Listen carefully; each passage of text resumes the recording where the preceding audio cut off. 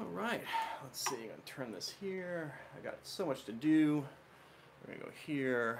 put the live chat on. I'm gonna go to my computer. Live chat. Let's see how we're doing with everyone. Videos. Oh, I lower this. Sorry, just getting myself set up, everybody. Let's see if we can uh, get this going.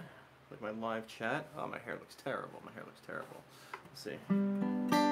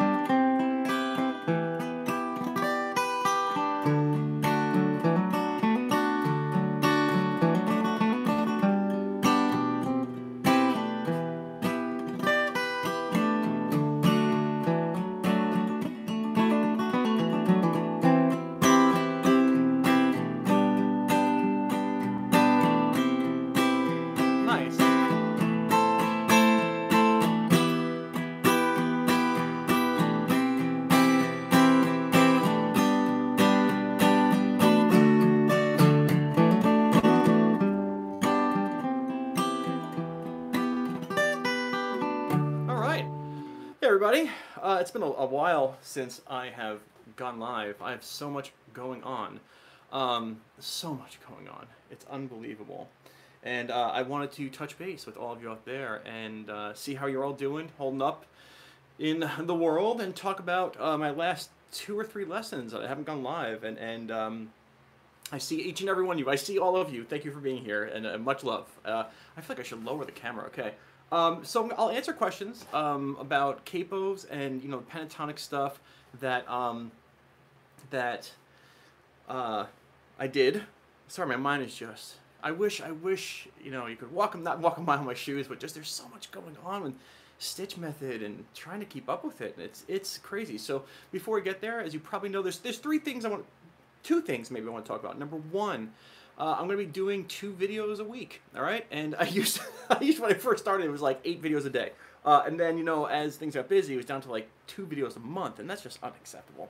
And so I, I'm going to be trying to do uh, two videos a week. One video that's going to be um, uh, all all about like the Stitch Method stuff, like the uh, pentatonics, improv, in the mind of stuff like that, and then a second video on Thursdays that's going to be all about guitar fundamentals, things that guitar players should know a little bit more about, beginning stuff, intermediate stuff, just not geared towards the improv stuff, like today's video about the capo, just learning what a capo is and how it does, because you know a lot of people they sing with this stuff. And if you're a singer songwriter and you just want to play, I made that lesson today, so you can watch the capo lesson. Also, um, do go to stitchmethod.com when you get a chance for two main reasons. Number one, I started putting my charts there. A lot of people think, I'm glad you like Patreon. We can talk about Patreon in a second, and I appreciate that.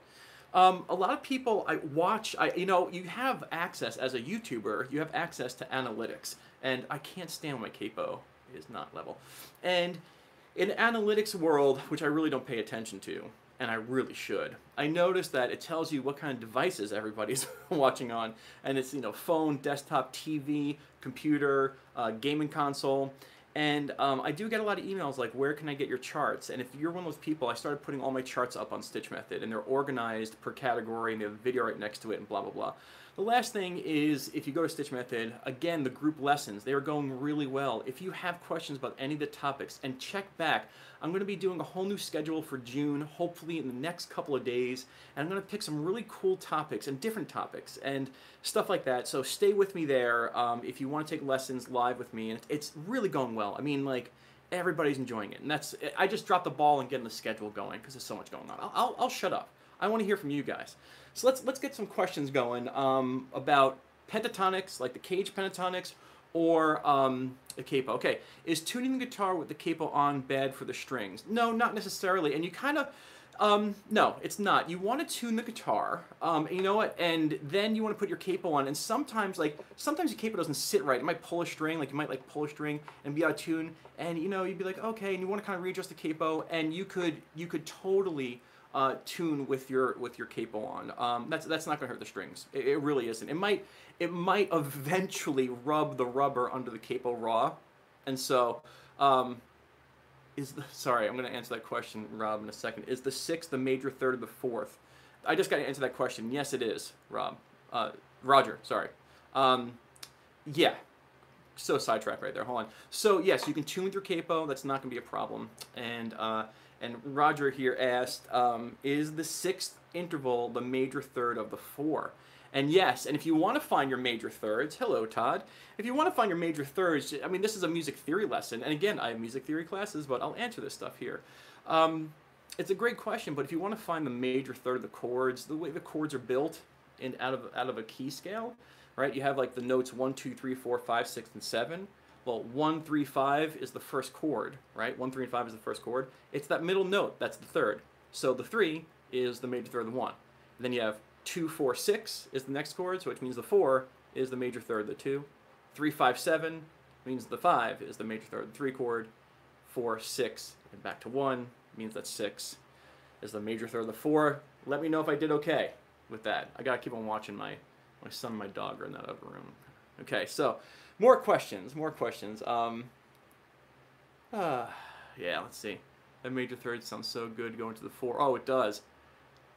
Oh, is there a limit to how high up the neck you should put the capo? I think, you know, it, um, in my video, did I put on the ninth fret? I think the ninth is like, uh, seventh to me, seventh to me, um, is the highest fret.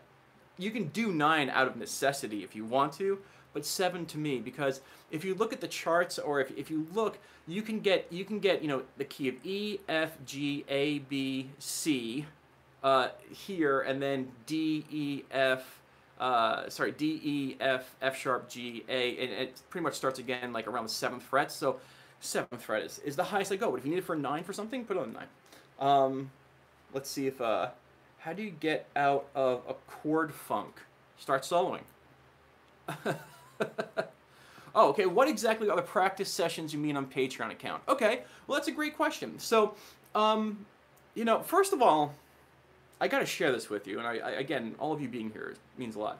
But I hate like, I hate selling stuff. I don't know. You know, the whole idea behind the Patreon account is that I, I really want to give you guys more to do than you could possibly imagine. Hopefully, um, and um, so the idea behind the Patreon sessions, the uh, practice sessions and bonus lessons, is when I come out with a YouTube video, I make anywhere between three and ten videos. So the idea is the the idea is you practice with me. Like I will say, okay, here's a video on pentatonics. Let me show you how I practice that. And the idea is, is I'm going to sit and show you the ideas uh, in the video, how I would practice them in different scenarios so that I become proficient at them. And so, to be honest, I still have to make the Patreon videos for my capo lesson. I've had a crazy day. I was up. I was pretty much up for 24 hours straight. And so the idea is. Um, you know, for the Patreon video for this, I would be explaining, okay, let's let's take the capo off. Let's say we have a song in the key of F sharp. Okay, we're going to practice this. We have, we have a blues in F sharp, and we need to play. And so, how are we going to use our capo theory? Right? How are we going to use this? Okay, and again, this might be a Patreon video. I might just release this on Patreon. I'll show you. This will be an example. Okay, and so I need to find a C, the, C groupings or the G groupings as F sharp. And so I'm looking for um, F sharps, and it's like, okay, well um, let's see, the F sharp's up here, I can't do it, but there is an F sharp here, and I'll show you. And this is how I'll do it. Here's an F sharp here, so, and I'm, I'm gonna make this very, very quick. All right, so now we have now we have the capo on the sixth fret. If we have it on the fifth fret for C shapes, it's it's an F. If we bring it up one more fret, it's F sharp. So now my C is an F sharp, my F is the B, and my sorry, really, my, my God, my C is the F sharp. Yeah, no, this is the this is the B and and on, F sharp, B again, C sharp. There it is. If I can do it. So now I have my F sharp, one, four, and five, and now I can play Tracy Chapman's. Um, give me one reason. Now it's here. Give me one reason to stay and I'll. And I'll do stuff like that and show you so that you guys can practice along. I'll stop talking. Um, all right. Ed Mattingly. Let's see. Take a listen with Stitch ASAP. Oh, thank you, Ed. That was nice. Okay. Um, to get the sound out of a solo, do you learn certain moves, licks, and then connect them, or like, whoa, crap! Hold on for one second, Sean. I'm sorry, Sean.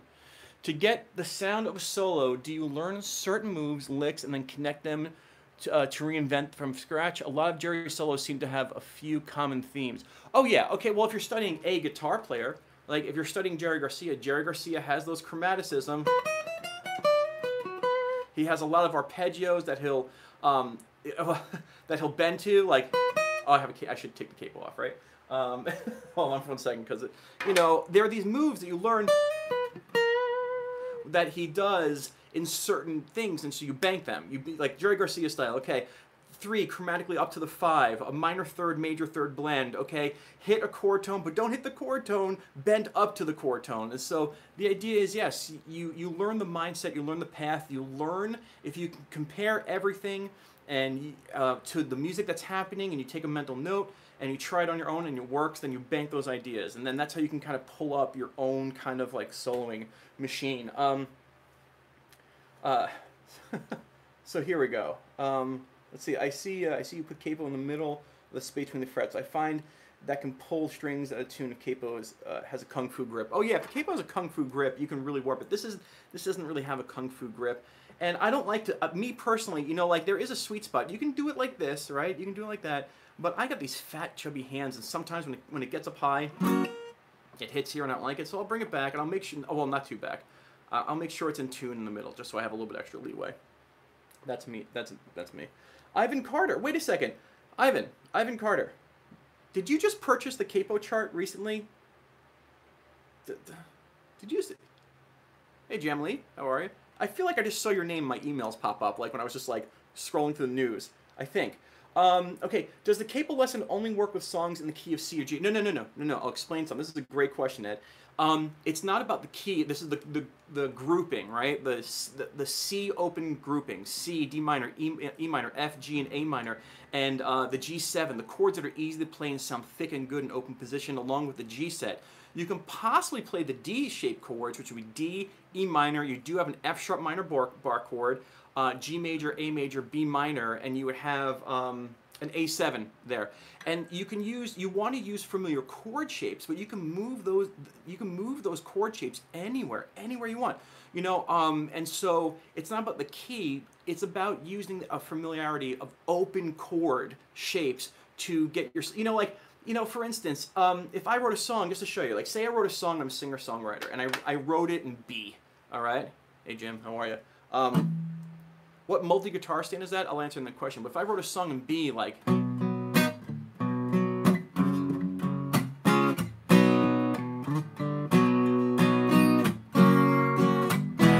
know, and I want... Ooh, that's out of tune, isn't it? One second, one second. And let's just say I'm not that good at bar chords, or I don't want that bar chord sound. There she is. I don't want that bar chord sound. I don't want the chunkiness. Then it's like, okay, I want to I want to play with, with chord voicings that sound open, that sound uh, really well. So I know if I put my capo on the fourth fret, and I know this from the video uh, that I just did. I know this because I've been doing this. For, you know, now I can play a G set, G's, uh, uh A minors, uh, B minors, C, D, E minor, and D sevens, and I still have the key of B. And now like now my chords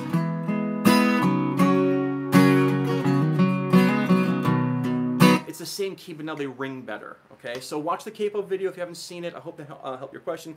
One of the questions was, um, what, what guitar stand is this? I have no idea. I when I if you if you go back into the annals of, of Stitch Method, um, there's one video where this thing just appears in the back when I was in that very small room, and I just ordered it off Amazon. I was like, I need a guitar stand, and and I'm, i can go for my orders, but I just I needed a, a guitar stand and looked at it, it said multi guitar stand, and I bought it, and there it is with my guitars on it. Um, so there we go. All right. Um, you're a beginner, but I love watching your videos. All right. Uh, uh, is it Osmani? Uh, thank you for being here. I'm glad you do. I'm going to be making more beginner, fundamental friendly videos. Um, Yes. Oh, this is great. David Ramirez says, uh, I feel like I see a lot of capos in acoustics and not so much on electric. Is that because people use power chords mostly on electric? No. Um, and and I will. Um, thank you. I'll talk about Garcia. Um, this is my theory. This is one theory that's out there. All right, it's like there's always exceptions, always exceptions. All right, but the reason you see capos on acoustic is because usually it's the acoustic guitar that has the singer behind it. All right, the singer songwriter, and so usually they'll write a song like, you know, I'm sitting in my truck and I'm waiting in the car wash, you know, da da da da da da, and they'll use these chord sets, and they don't want to think about playing bar chords right? And the idea is uh, the electric guitar player knows how to play the bar chords. the electric guitar player can be like, oh, you know, I, I can play. Or they can even do it here without the capo. So the electric guitar player, the lead guitar player has the whole thing mapped out. His job is to navigate through that thing, and so you see uh, you see it a lot in acoustic guitar playing, and I hope that made sense. All right. Um, when you drop a blues scale three frets, what's the turn in? What's the turn into a pentatonic scale? When you drop a blues scale. Oh, three frets. Okay, I think I. Okay. What's up, Jeff? I'll see you tomorrow. Jeff is one of my TAs for my group lessons. Go to stitchmethod.com. Not tonight. I have to redo the lessons. But if you want to take lessons live with me, you go to stitchmethod.com. You'll see me. You'll see Jeff. You'll see Kevin. You'll see Ed. You see a lot of people. All right, so this question here, I think this is the question. What? Hmm. This is a great question because, because, I think my next Thursday's lesson is going to be talking about this. So we'll do a little like one-on-one. All right, I think this is the question. If you take a blues scale and you have the one, the flat three, the four, the flat five, and the five, and then you have a flat seven, one, you have this little tiny chunk of it. What happens if you drop a three? And now what I have here, okay, so just uh, I'll do it here. This is a B minor or a B blues scale. B being the root. One, flat three, four, flat five, five, flat seven, one. All right, boom. All right, so now if I drop that three frets, bamo. Now it's become a B major pentatonic. Now I want to show you this, and you can have this here. But you're saying, well, what if we do this? What does that blue note become? Well, it's become one of the tastiest notes in bluegrass, which is, if Jeff is watching, if Jeff's watching, we had a conversation about this. This now is the one, it's the two, a flat three, and a major third. And you get this a lot in bluegrass playing.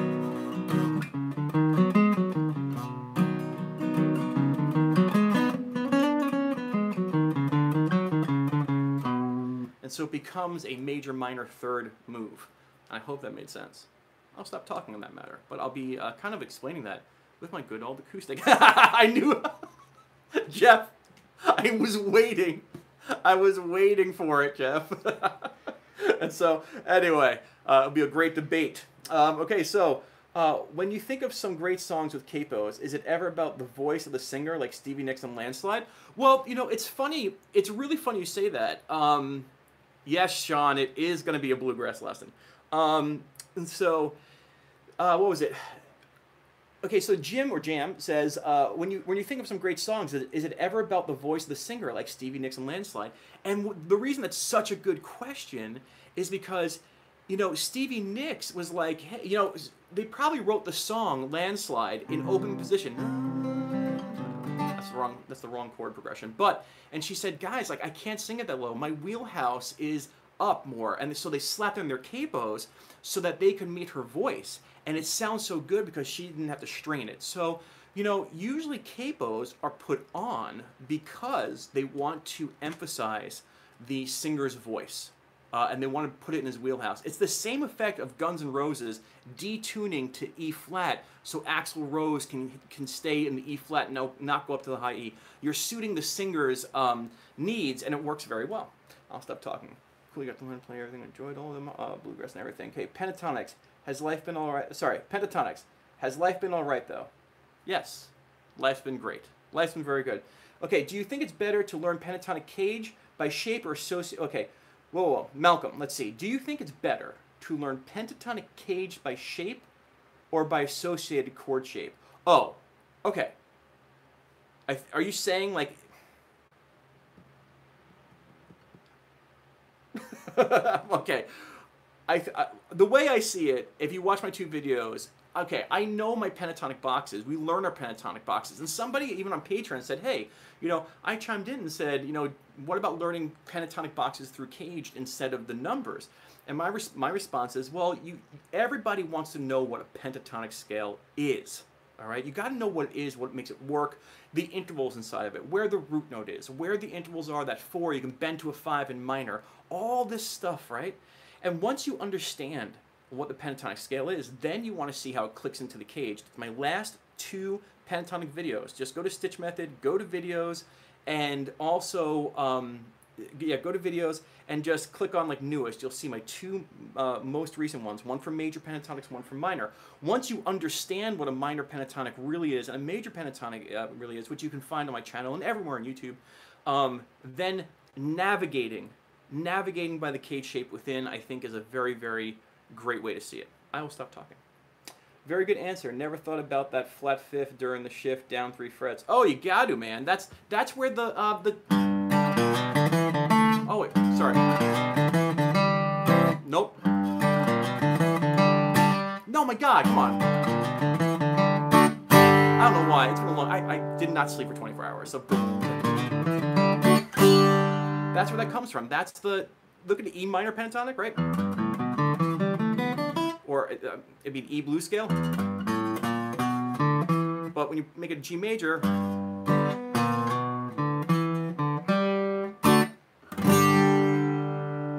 Here comes the sun. Why is Here Comes the Sun cape on the seventh fret? I'll tell you why. Because that makes an A chord, right? Ooh.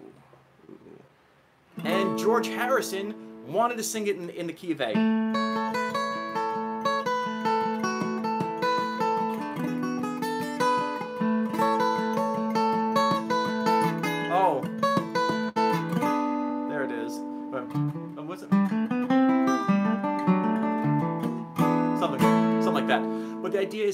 sing it in A. Let's just say he had a raspier voice. It could have been on the it could have been the fifth fret, and we could have heard. You know, it's just where his voice is that he wanted to do it comfortably, and that's why it was capo on the seventh fret. And if I could play the song correctly from my mind, that'd be good too. All right, uh, will I post this afterwards? Yeah, why not? Uh, what is this? Can you explain why it's a different box shape for major form? Okay, I see that one coming, but it went by. It'll come on my computer. One second. Can you explain why it's a different box shape for major or minor? Form 3 in C minor, but Form 4. Yes. Okay, so uh, I want you to watch those videos again. Uh, Oh, oh, actually, Rob, Rob Brown, who has asked this question, uh, I want you. Do, have you seen my "Do you know your five pentatonic box" video? Okay, you can type in just. I'm just asking you. Stitch method, five pentatonic boxes. You'll see thing comes up. Each okay, each pentatonic shape. And I talk about this all the time on my channel, so I'm not like you know this isn't like I'm giving you like million dollar information. Pentatonics I have an idea. Remind me about my idea, by the way. Pentatonics are known as pentatonic scales. And they are not major and they are not minor. They are pentatonic scales. They are like stem cells. And you can have a minor root note and name it a minor pentatonic. You can have it a major root note and name it a major pentatonic. And the idea is when you name something a minor pentatonic, your first note is going to be a flat three away. That's it. Boom, boom. And so this would be an A minor pentatonic, A minor um. pentatonic. And then everyone understands this. But an A major pentatonic, now you have to have a different set of notes. And so now it becomes a form two, and this is from all in the videos. But you see, like, here's my one, here's my two, here's my major third. It's my one, two, major third. So really, the idea is, is that when you have a minor root note, you're gonna have your first note after your, your second note is gonna be a minor third. When you have a pen, when you have a major pentatonic, your second note is the is the two, and your third note is the major third and the shapes of the places of where those intervals are in relation to that root note change. And so where you have, he's saying in a C shape you have the form four, but in the C minor shape you have the form three because the root note has the, the, the, the action, not the root note, but where the minor third now lands changes your pentatonic shape. And so somebody said, say that again. I'm not going to say it again. I want you to watch my two videos and make watch the latest two videos and just sit and hear my voice saying, I trust that you can do it. I trust, ah, the minor third. I trust that you can do it. I have an idea. I have an idea. and I want to talk to you about my idea, if that's okay. You guys ready?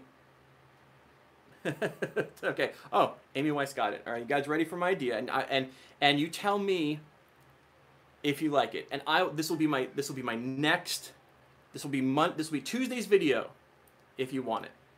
I have a lot on the list.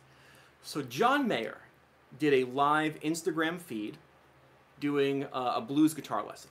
And a lot of my friends and uh, um, uh, Facebook people and Instagram people and, and subs, they all emailed and said, Have you seen this? Have you seen this? Have you seen this? All right. And it's like, Yeah. And I watched it. And a lot of people said, even on my Facebook page, like, can Stitch actually say what is going on in this video? Because I watched it, and let me tell you, I mean, John Mayer is nasty. He's really good. He's really, really good. But what I want to do is I want to watch the entire video. I want to timestamp it, and I want to translate what John Mayer was saying for everyone who is not on John Mayer's level. Kind of like a video like, what the heck did he mean here? And the way I want to do it is I can't play the video. I don't want to get a copyright strike. I will say, okay, at, at 4 minutes and 15 seconds, he says this. And what I want to do is I want to say, all right, you can find this on my Blues Primer playlist, this video, and this is what he's doing. And then at 4 minutes and 18 seconds, whatever, you know, he says this, and this is what he means by this. And it's as clear as day if you watch it here, because I'm not going to lie, everything he said is available on my Blues Primer playlist.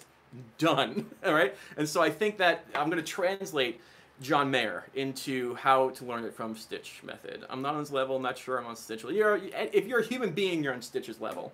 This is this is a this is a, a channel about being human playing guitar, not about showing off. All right. So I hope that I think it's a really cool idea, and I think that a lot of people like it because John Mayer does have a lot of great ideas, um, but I think just translating them into um, a an electrified thought process that can get into our fingers where we understand it and keep us moving and i can help just like just be the translator you know like i think it's going to be great so that's my idea uh, yeah, and, and distractive uh, Davis said when I watched it, I thought, oh, the things he's focusing on now is what Stitch has been saying for a while. Well, thank you, Dave. Um, so sounds fun. Okay, what is the upper limit on the neck that the capo is still useful? I answered that earlier, and I think uh, at most the ninth fret. I think seventh fret. Seventh fret you can get. Um, it's hard to explain. Watch the video, but seventh fret is easy. And then past the seventh fret, you can kind of redo the capo so that you can play off the A string if you need to. All right. So, man, I wish I could tell you guys a good joke. I just need a good joke or hear a good joke. I thought a big appeal capo was ease of playing. Okay, um, was ease of playing and the nicer tone you get. Never going back again. So, I, I want to know what you mean by that. what do you think of when composing a solo? What's your thought process? Well, that's a video I have going for. Um, um, well, I have I have a couple videos. Um, Kevin. Um, and I want you scroll through. Uh, there's um, crap. Stay right here. Just stay right here. Just you stay right here. Hold on. Gonna, you guys sit and talk amongst yourselves. Okay. I'm gonna I'm gonna find a video for you. Did you have you seen my video where I talk about right? Are you talking about improvising or are you talking about like writing a solo? Because I have a, a video about writing a solo using poetry, writing down hearing what you play and then throwing the poem away so nobody ever hears it. And I feel like that's what Slash does. Um, so I can't get to the video, but um, there is a video that I have about that. Maybe somebody will post it. And uh, whoa, whoa, whoa, whoa, whoa, whoa, whoa, Billy, thank you. You don't have to do that. oh, oh, okay, oh. Ah, Billy, I see what you did there. I'm going to answer that question. All right, so Billy here says, uh, and Billy, did you get my email, by the way? Did you get the email? I, and he says, I don't understand why in this capo lesson I have the 1, 2, 3, 5, 6 and back to a 5 and not the 7th. And I want to address that. Uh, so, time out, we're going to talk about this. Great question. I talk about how in the key of C, oh, no, do the key of G, right? Um, yeah, G. And so if you look here, uh, no, no, no, we'll do the key of C, okay? So the idea, okay, good. The idea is, if you look, I talk about in the key, in the C stuff, um, the C stuff here is C, all right? and then D minor, and then E minor, F, G, A minor, and then you can play a B minor 7 flat 5. Now, I want to show you what the notes are on a B minor 7 flat 5. The B minor 7 flat 5, which you can kind of play uh, like this, like it's not a chord, you can actually play like this, I don't know why I'm doing it. It's not a chord you find a lot in singer-songwriter music because it's very tense. But I want to show you the notes. It's B, D, F, and A. B, remember that. Write that down. B, D, F, and A.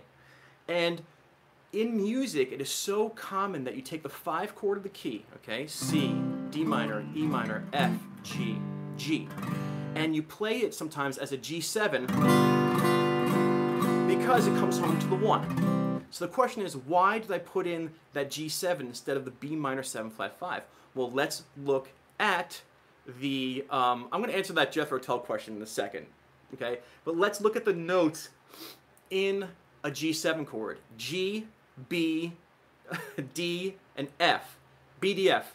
Okay? Three of those notes are in the are in the minor seven flat five, and this chord does one hell of a job of bringing it back home. So you find a lot of singer songwriters that don't play the minor seven flat five because it is not um, a, a chord that plays well. But the G7, the five chord, as a dominant chord, does the job, has three out of the four notes, and it brings the, everything back together. So, what, what is this going on with Jeff and and Jethro Tull? Yes, I, I use the dominant arpeggios, but still have a hard time to visualize. Okay, so listen, I'll go on and say this. They're, they're talking about the myth of the Mixolydian. Um, the Mixolydian scale itself is not for it's not for the blues. That's major pentatonics, in my opinion. It's major pentatonics. You're gonna put some minor thirds in there. If you play the full, I'm talking the full Mixolydian scale on top of the blues, you're getting contemporary jazzy blues, which I hate. Just let you know that. I hate it. If you're playing like full, like one, two, three, four, five, six, flat seven, one, and playing with that mindset, and I mean like doing like. No. If you find the mixture of major and minor pentatonics,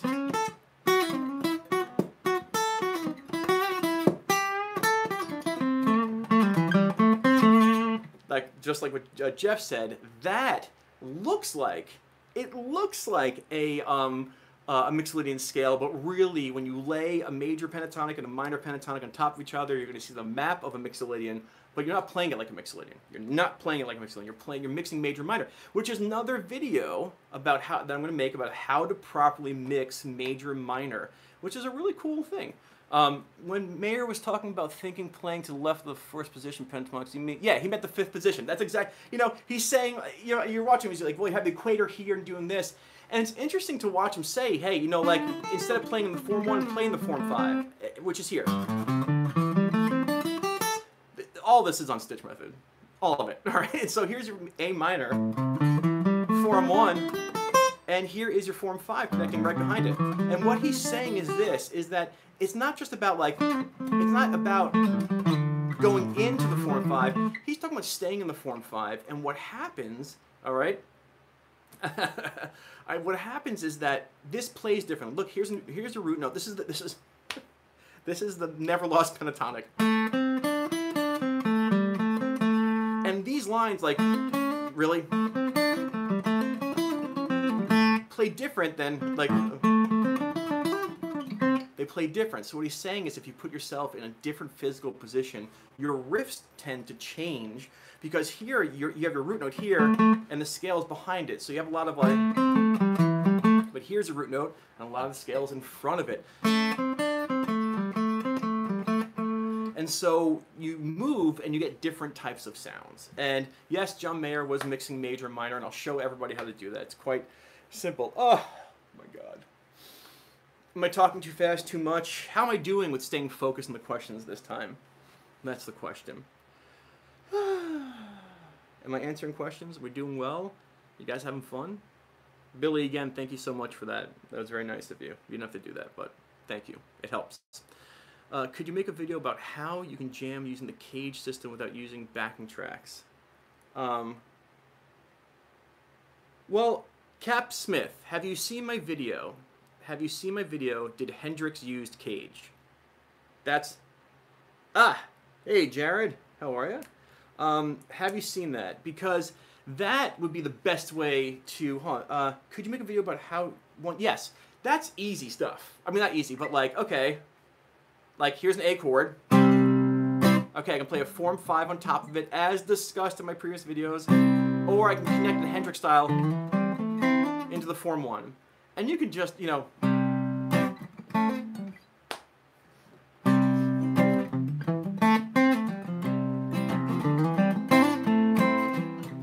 Am I drunk? No, you moron. There's a person. I'm kidding. There's a person this articulate. Sorry, I didn't call you moron. I just don't like being called drunk because a, I don't drink, and b, does a person who's drunk talk fast? No, they talk with a slur. anyway, uh, hey, Stitch, good uh, place to find lessons. Uh, is, I don't know. I, I don't. I don't want. No, I'm not gonna recommend it because I don't know. I don't watch other YouTubers, man. I don't. That's the craziest thing. I, I I'm flattered that people are like, hey, do you do you do this? Do you do that? Nope, nope. I don't. I teach all the time. That's it. Oh man. And so uh, I want to answer that question, but the idea is is you can find your chord.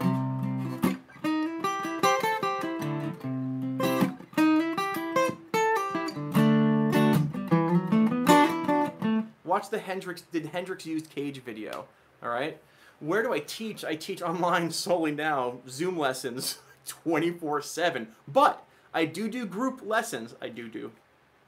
I do, in fact, do live group masterclasses if you go to stitchmethod.com. Uh, don't judge it by the schedule, it's up there now. A whole new schedule is going to be coming out um, for June, hopefully. Ah, I really love your story about your aha moment after the Phish concert. In fact, was a very good story. Um, well, I yeah, I the thing is, I play. I love the the Grateful Dead. Whatever. Hold on for a second. I heard a bang, so I just want to make sure everything's okay. Um, yeah, I mean, I love the Grateful Dead and jam band stuff. So when I write stuff, it's gonna sound like that. Yes, I know I said doo doo. That's why I laughed. All right, so uh, so anyway, so that's that. Let's see. Uh, what chord shape should I use with the capo, and which fret to put in a strum position? Yeah, Ju- Justin, Justin, Justin Rains. All right, nobody speak. Nobody speak. Justin Rains, did you see the video that I made? Did you see the video that I made today or released today? I'm gonna wait for Justin. Rains. I'm not trying to embarrass you. Don't worry. Nobody can see you, except for the 133 people that are here. It's fine. Okay. But did you see the video that I released today on capo theory? Because that will answer your question. I'm gonna wait. Oh, okay. So, at what point can you effectively use theory for songwriting? Ooh, uh, I want to do some songwriting videos, but to make a long story short, when you're stuck, okay, when you're stuck, um, and that's what's really cool. Usually, when you're when you're writing something, like if you're writing something.